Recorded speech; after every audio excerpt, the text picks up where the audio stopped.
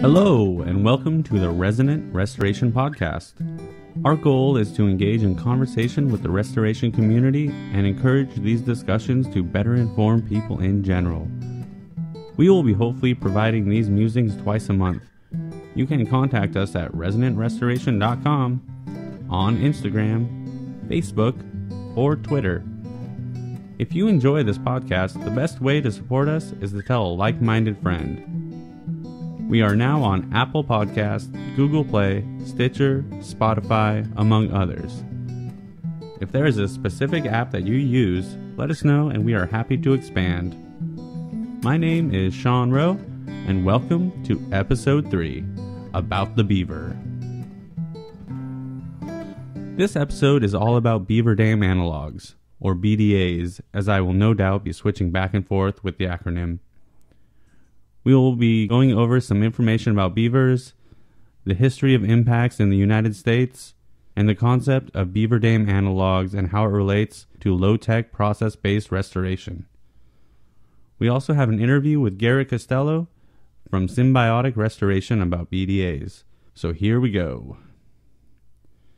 Beavers are an interesting animal. Love Love 'em or hate hate 'em, they are interesting. Castor canadensis in the order Rodentia, or beavers as they are more commonly known, typically breed once a year and hold large streamside territory. They are mostly nocturnal, they mate for life, and babies can swim within 24 hours of birth. They have a specialized digestive system that helps with the diet of tree bark and cambium, which is the soft tissue under the bark of a tree. The largest beaver dam is reportedly located in Wood Buffalo National Park in Alberta, Canada. It is 2,800 feet and is visible from space. Beavers are a wonderful example of a keystone species. A keystone species is an organism that supports a biological community. A keystone species commonly supports the integral processes of a natural trajectory. We have been using these species as the flag bearers of restoration for a long time. Just think of salmon. The top two searches when I entered beavers in Google are Are beavers mean? and Are beavers bad for the environment? That really speaks to the modern mindset. These beavers. Beaver dam analogs are human created designs that mimic the function of a beaver dam. They try to recreate the parameters for suitable beaver habitat with the hopes that beavers will come back and colonize the area. They are appealing because of their low cost nature and large scale restorative impact. But they are also controversial. Beavers have not been on good terms with landowners or industry in general.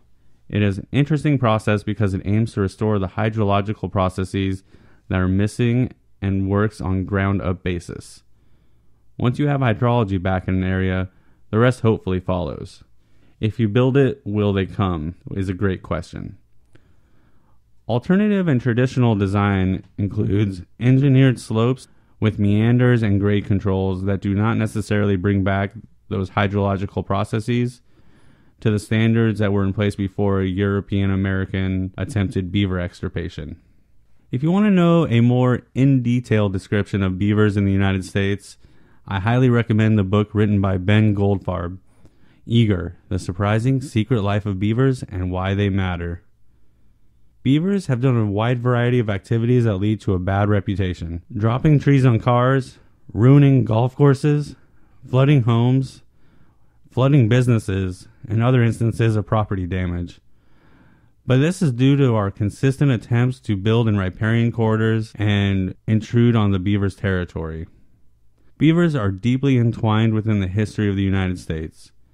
The problematic notion of manifest destiny, fueled by fur trapping and carving out 40 acres, was also the product of digging, diking, and draining wetlands. How could we not be at odds with the beaver? With the incursion of European settlement, we found ourselves in a landscape where wetlands dried up, erosion was widespread, stream and waterways and other features were drastically altered. I enjoy how Ben Goldfarb draws the parallel between humans and beavers. He says Homo sapiens and Castor canadensis are among our closest ecological and technological kin. Homo sapiens and Castor canadensis are both wildly creative tool users who settle near water, share a fondness for elaborate infrastructure, and favor the fertile valley bottoms carved by low gradient rivers. It's no wonder why we as a culture found ourselves at odds. Those beaver industrial complexes versus human industrial complexes. What world. We haven't always been enemies, though. Humans have had past adventures at beaver restoration, albeit I believe these beavers were taken from instances of conflict and rerouted into other locations. So maybe not restoration in the real sense of the word, there are videos that can be found online that look to be more like informational PSA type videos, illustrating on how they would parachute beavers into remote wilderness areas. I'll put a link to that in the show notes. So here are some interesting facts about beavers. Dried beaver testicles were used as contraception once upon a time. I don't think that worked out real well for any party involved though. Beavers can hold their breath for 15 minutes. They have transparent eyelids that allow them to see below water. A poet once described feminine beauty to that of the wool of beaver. There is a Cree creation story about the great beaver. So, moving on, geographers at Texas State University and the University of Iowa reported that North America used to have somewhere between 15 to 250 million beaver ponds before Europeans. That is a large range considering the legendary trapping and fur trade that happened in North America. I am more inclined to believe the estimate should be on the higher end of that. The Beaver Dam analog concept came from the Bridge Creek Intensively Monitored Watershed Project in Oregon. Pollock et al. 2007 has a paper discussing BDAs. They were originally called Beaver Dam Support Structures, and they were using fence posts for temporary stability. Anabranch Solutions does a great job on their website explaining the history and concept of how the complex is more important than the individual BDA. There's a link to the Pollock paper and to Anabranch Solutions in the show notes as well. Beaver Dam analogs have been quite the hot topic in recent years. They are a great example of low tech process based restoration of riverscapes. If you want more information on low tech process based design, Utah State University Restoration Consortium has a design manual with guidelines for implementing a subset of low tech tools. This includes BDAs and post assisted log structures. I've included a link to Utah State University website in the show notes as well. Beaver Dam analogs have become something of a craze. It is quickly becoming one of the most used techniques in restoration through areas that are suitable. The allure is that of cost. However, regulators are still skeptical of these projects, and we are still at odds with the beaver from national perspective. Just a couple years ago, the USDA was involved in more than 23,000 beaver deaths that were determined to be nuisances. At the beginning of the 20th century, it was estimated that less than 1% of beavers were left compared to historic numbers, according to an article by Sarah Koenigsberg, courtesy of Beaver Believers. Without beavers, we see streams becoming eroded in size and ecologically damaged. The hardest thing to stomach is that we just don't have the data or knowledge to understand what was there historically. Our best bet in these instances is to look to nearby reaches that were not impacted those are few and far between, or to rely on traditional ecological knowledge from indigenous histories, something we still fail to incorporate in a large portion of restoration strategies. On a brighter note, there is a Stage Zero project in England that introduced beavers, which was extirpated more than 400 years ago. I really enjoy getting behind low tech process based design because of the fact it outright tries to restore processes and that is really what we want in restoration to bring back the processes and mechanisms that allow for self sustaining habitats. I spoke with Garrett Costello from Symbiotic Restoration, based in Northern California, and his passion and work, Beaver Dam Analogs. So let's give it a listen and learn about another tool in the box that we can implement to restore our wildscapes. All right, and welcome back to the Resonant Restoration Podcast. Today we are interviewing Garrett, and we will get to hear about the wonders that are BDAs, Beaver Dam Analogs. So, Garrett, do you want to introduce yourself? Sure. Yeah. So, my name is Garrett Costello. um, the owner of Symbiotic Restoration. We're a stream and meadow restoration consultants in northeastern California. I went to Humboldt State University um, and studied restoration and environmental management. I've been doing uh, working on beaver dam analogs uh, for the last five years, and it's it's a passion of mine. I actually I dream of it almost weekly because of I've got the beaver brain. So I'm definitely invested in this process, and yeah, excited to have this interview with you. Yeah, we're excited to have you. Awesome. So what led you into the field of restoration? Is it something you've always dreamed of doing, or is it a recent?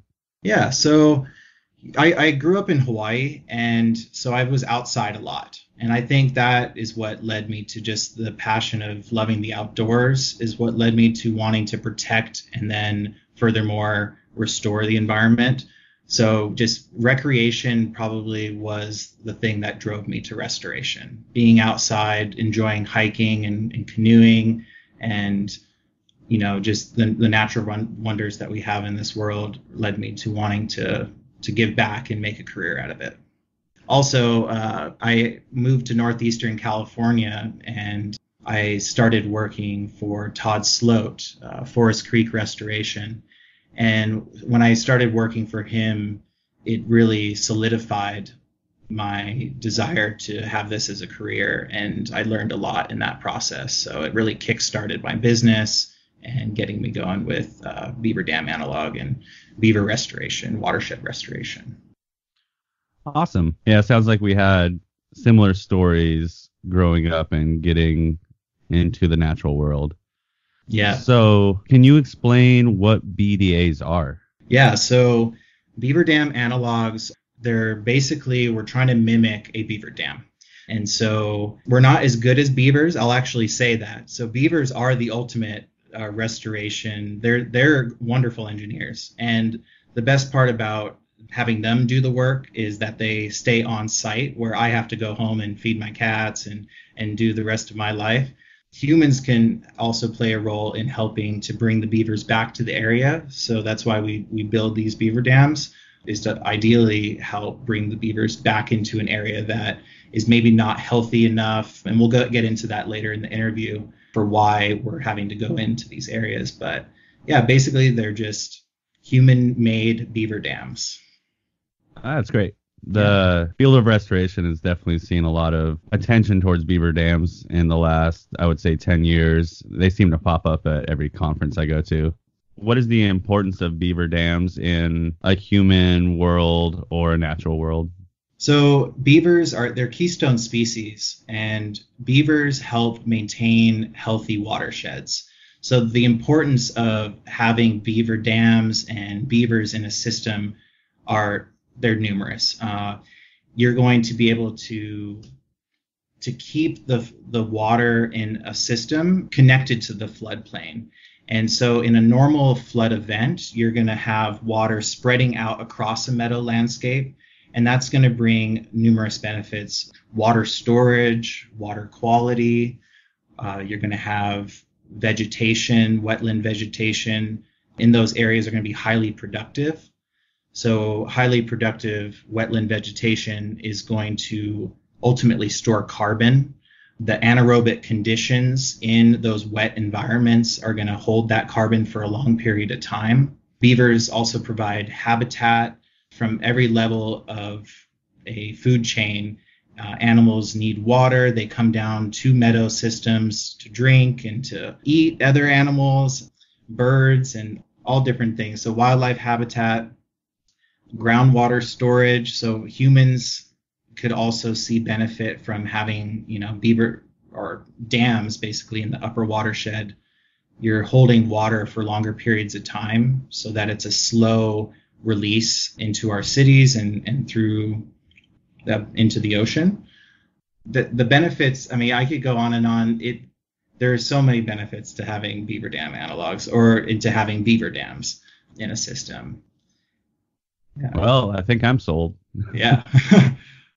In restoration, we often talk about a reference condition or trying to move back to what a landscape previously looked like. What kind of documentation is out there for restoring these sites? Mm-hmm.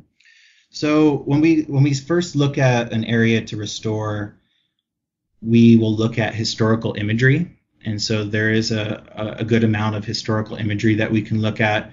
But we'll also walk the system. So in a in a particular watershed, you're going to have in most systems you're going to have areas that are degraded, and you're going to have areas that are actually looking pretty good still. And those areas that we call reference reaches there's some sometimes small areas of that watershed.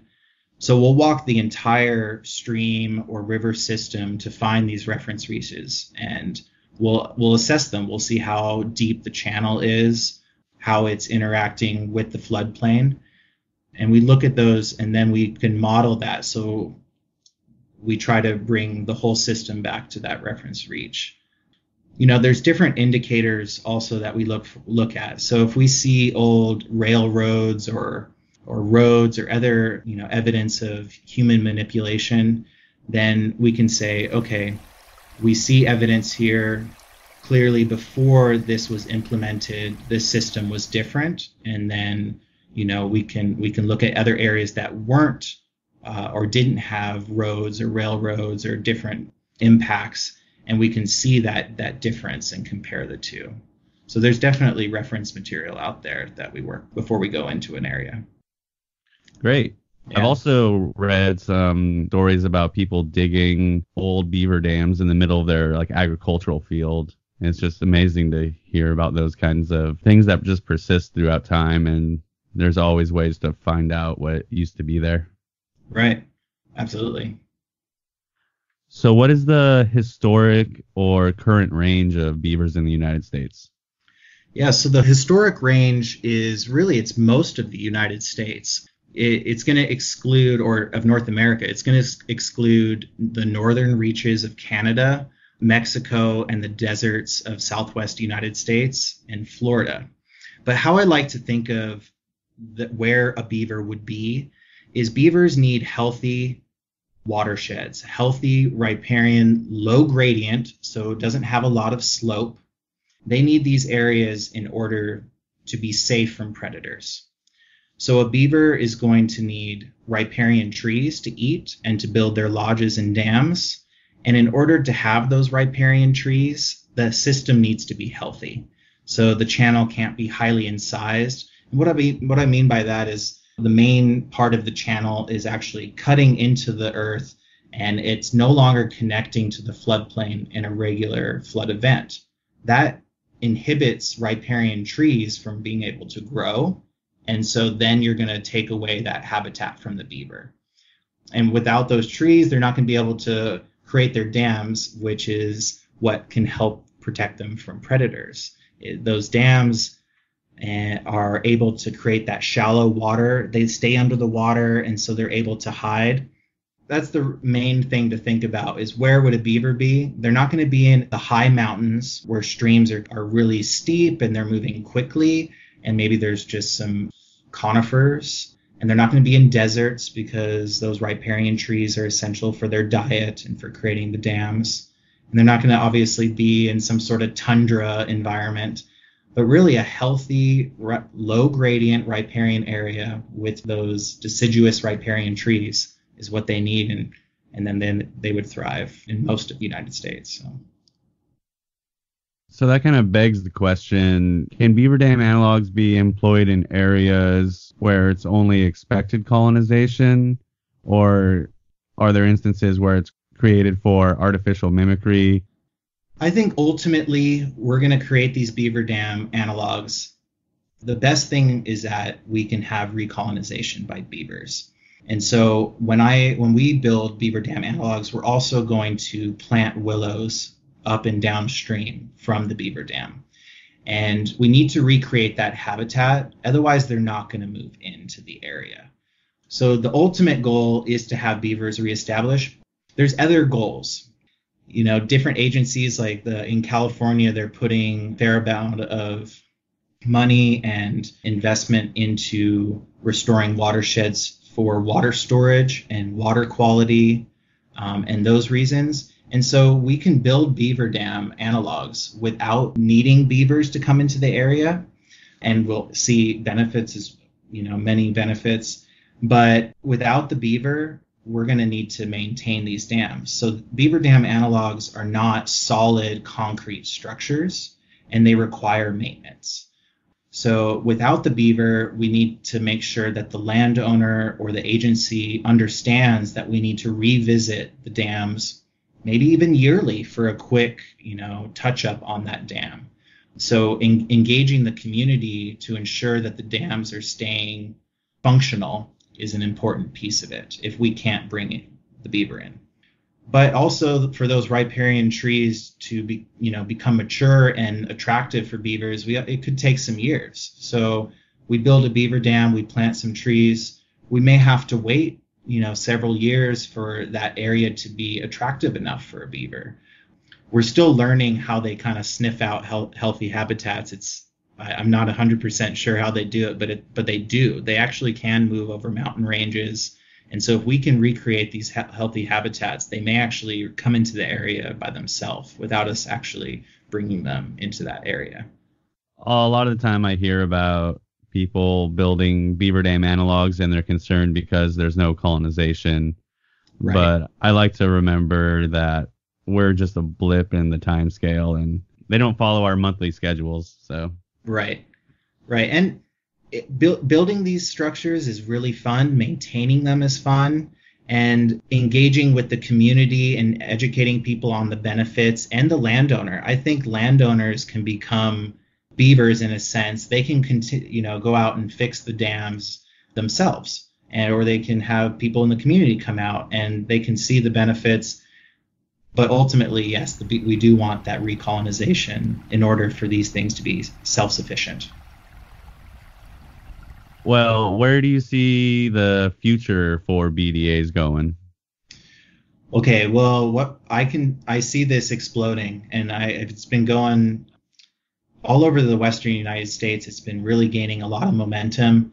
People are realizing the low cost of creating these structures, uh, lower risk involved, is allowing these to explode. And we're seeing landowners who would typically not be wanting beaver on their property starting to come around and say wow i can actually see the benefit if we if we work with nature if we work with beaver i can actually have better feed for my cattle. And there's different strategies that landowners who are are grazing are doing different things on their land we can work with that. You can rest an area you can move the cattle so that they're not hammering a, an air, a certain area really heavily.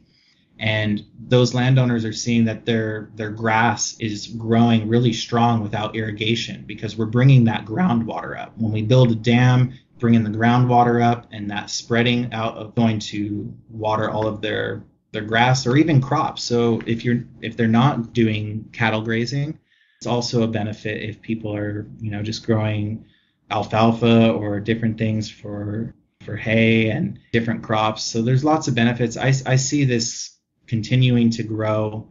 People are becoming more comfortable with it. So the future is really bright for this. It's encouraging to see. Oh, that's great to hear. Can you speak to the usefulness of these types of projects? Absolutely. So, like I was saying, they're cost effective. A lot of watershed restoration projects can be very expensive using heavy equipment, um, a lot of diesel, and these structures are built with manpower. Uh, we're using hand tools, we're out with shovels and using post pounders. So it's really cost effective. So that's you know useful in order to expand, increase the pace and scale of restoration. We talk about this a lot in restoration, and money is a big hindrance to increasing pace and scale.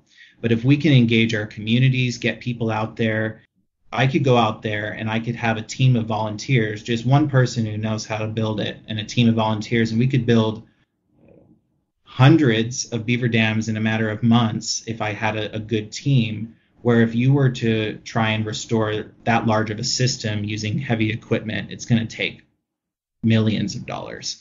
So cost effective is one thing It's going to have less compaction impacts on the meadow systems.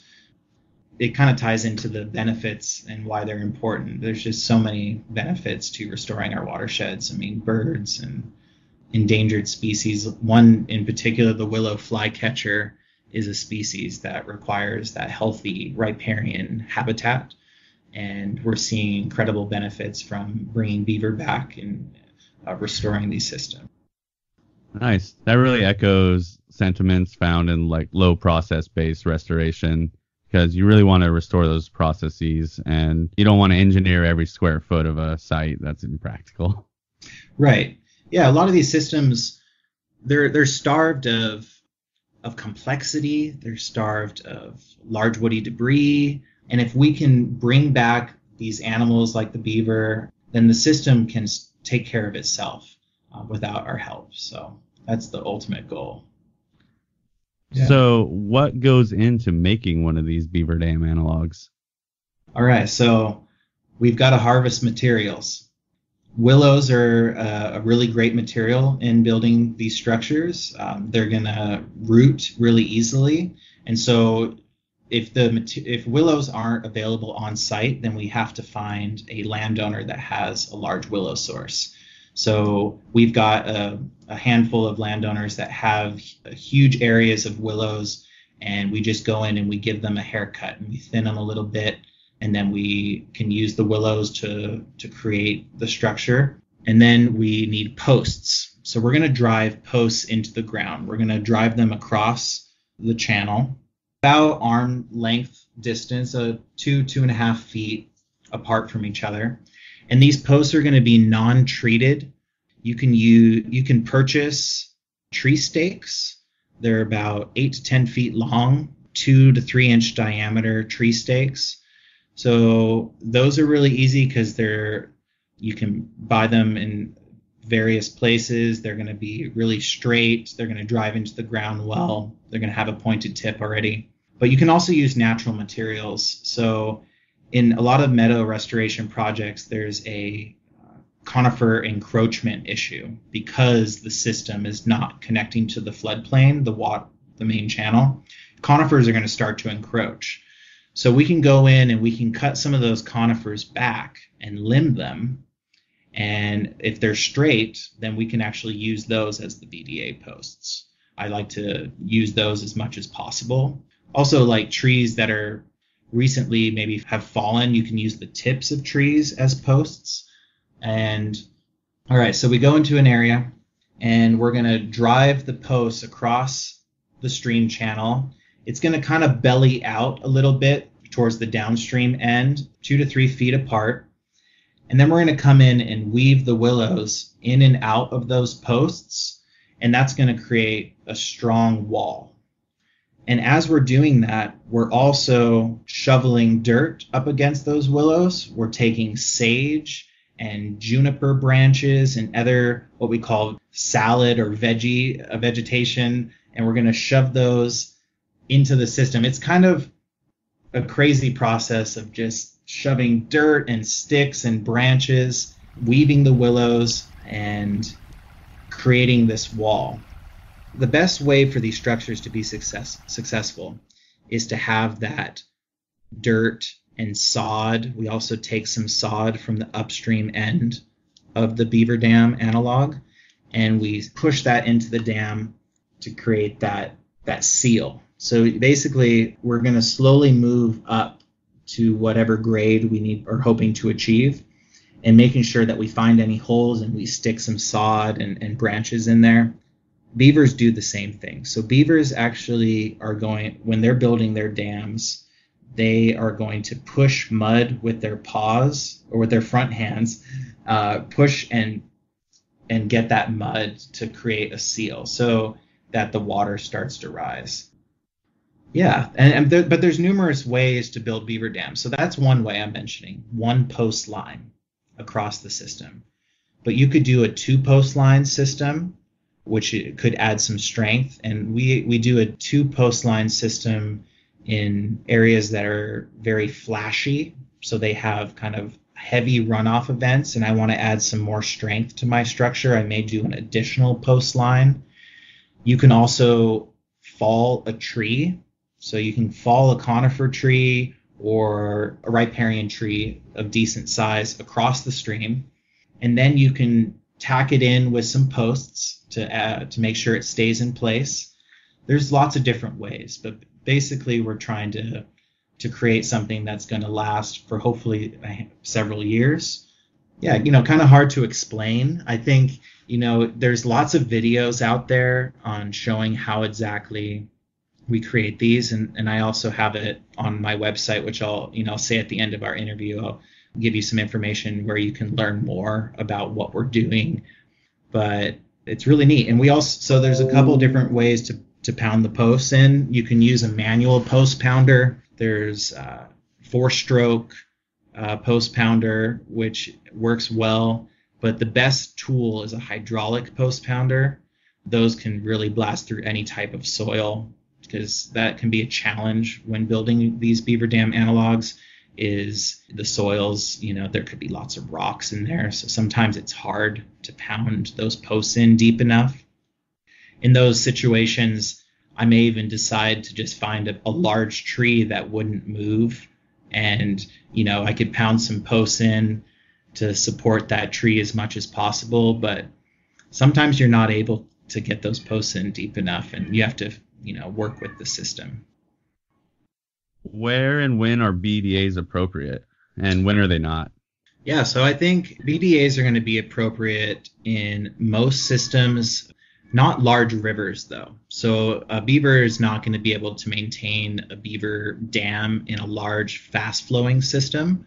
They want to have smaller tributaries, and that is going to allow them to maintain those structures uh, without having to constantly repair them. But you, you can still see beavers along larger rivers, but they're just going to not have a beaver dam per se. They may work in a tributary near a large river, have a lodge nearby. Or beaver dam analogs are going to be appropriate for restoration. It depends on the landowner goals. So that's one one point I want to talk about is these structures when we implement them, it can take a little bit of time in a highly eroded system to aggregate enough sediment to reconnect the floodplain. So that could be a situation where one of these structures may not be appropriate if the landowner or the agency their goal is to reconnect the entire floodplain or this large meadow system immediately. They may look to filling the channel or doing a pond and plug type of project if they want to see immediate effects. But if they are open to a, you know, working with the process and being a little bit more patient, then th- these structures would work well. But even in a, a highly incised system, you can still work with the, the analogs. So you can I wouldn't build a huge beaver dam analog that the you know the dam is 10, 20 feet tall because that's just not realistic. We would start with something three, you know, two to five feet in height. We would wait for that system to aggrade or to build sediment behind the dam. And then we would come back in possibly and build it up even higher. So there, it can be kind of a phased approach in one of those systems. If an area historically had beaver. It had it's low gradient. It has the potential to support riparian vegetation, willows, alder, cottonwood. Then it's you know currently degraded. Then it's appropriate to implement these structures. Do you have a favorite type of willow to use, or what kind of species are around you? I'm throwing a curveball question here. Yeah, a little curveball question. You know, I'm not a botanist, so I don't have scientific names for you, but I'll tell you what just what I'm looking for in, in willow. We want really long willows. So if you have a really tall, long willow, a mature willow, then you're able to weave in and out of the posts with more points of contact, and that's going to add more strength to our structure. So maybe as someone who works in botany yourself, I'm I'm curious. You know, we are not working with large because there's all there's so many different species of willow. Yeah, so around here and the, the willow restoration sites I've done, a lot of the tree form ones are the shining willow or okay. Pacific willow. and then yeah, red willow, and then like the shrubbier I'm gonna grow in whatever direction I want. That's like the arroyo willows, and I know those are problematic for a lot of reasons. Mm. But yeah, willows are great, but they're hard to identify, and there's a lot of them. Right. Yeah, the ones I've been working with in northeastern California, I right now my biggest willow source is near Honey Lake in Susanville. I have a landowner who has several hundred acres along Honey Lake, and the willows are 12, 14 feet long, and there's just fields of them along the lake. You know, I do want to mention there's lots of great information out there, and I tried to compile a lot of it on my website. So I recently launched a page talking about beaver dam analogs, and on there you're going to see links to other uh, restoration practitioners in the West. Utah State University has a great program. Um, there's information on there and I talk about how we construct the the beaver dams. And so check that out. You can go to symbioticrestoration.com and you'll see that link for the beaver dam analog. Lots of good information. Thank you for coming on the show, Garrett. That awesome. was awesome. Yeah, thanks for thanks for having this available. I'm glad to get the information out. Let's all keep going with this good work.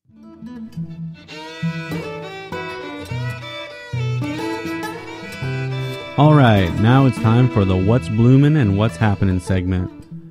This segment is focused on phenology, the study of variation and seasonality. So, what's blooming or what we saw blooming since the last episode? Also, anything else that's in the news that is noteworthy. Phenology is an exciting topic. There are many factors that come into play to spark a flower's growth, and this is becoming more and more important with changes in climate and encroachment by invasive species. So what's blooming and what's happening? So in my neck of the woods around coastal Humboldt County in California, we have the Humboldt Bay wallflower, which is Erysimum menziesii subspecies eurekense. In the Bay Area, specifically San Jose, we have the Franciscan wallflower, which is Erysimum franciscanum. In Joshua Tree National Park, there's the Desert Star and the Desert Five Spot. In the Mojave Desert, we have Amsinckia tessellata. In San Diego, Fringe Linanthus, which is Linanthus dianthiflorus. In Alameda County, California, we have Fritillaria liliacea, which is fragrant fritillary. And that is a rare plant rank of 1B.2. Diablo helianthella, and that has a rare plant rank of 1B.2. Dozens were seen, but only a few in bloom. Big scale balsam root, which is Balsamorhiza macrolepis, that has a rare plant rank of 1B.2. Hundreds to thousands were seen, and only a few were in bloom. In Borrego State Park, there is Xylorhiza orcuttii, and that has a rare plant rank of 1B.2. Also, for noteworthy news, there are a couple new articles in Restoration Ecology which are interesting. There is mixing source populations increases genetic diversity of restored rare plant populations, and establishment gaps in species poor grasslands, artificial biodiversity hotspots to support the colonization of target species. The public input is also open for the draft strategy for the UN Decade on Ecosystem Restoration. This closes at the end of April. And that ends our segment for this episode. The music on this podcast was Quiet Fury by The Music Teller. You can find him at themusicteller.com. The best way to support our podcast is to tell a like minded friend or colleague. Human interaction is important. You can also visit our webpage at resonantrestoration.com and sign up for our newsletter and find links to our Patreon page. You can also find us on social media such as Instagram, Facebook, and Twitter. On the next episode, we will be looking at the Wild Mile based in Chicago. So stay tuned for Resonant Restoration, and thank you for listening.